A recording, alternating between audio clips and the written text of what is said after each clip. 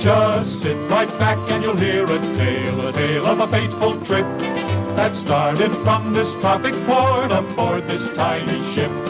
The mate was a mighty sailing man, the skipper brave and sure.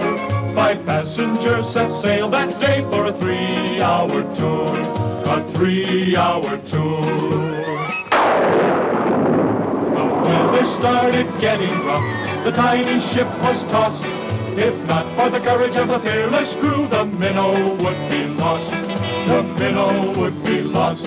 The ship's aground on the shore of this uncharted desert isle, with Gilligan, the skipper too, a millionaire and his wife, the movie star, the professor and Mary Ann, here on Gilligan.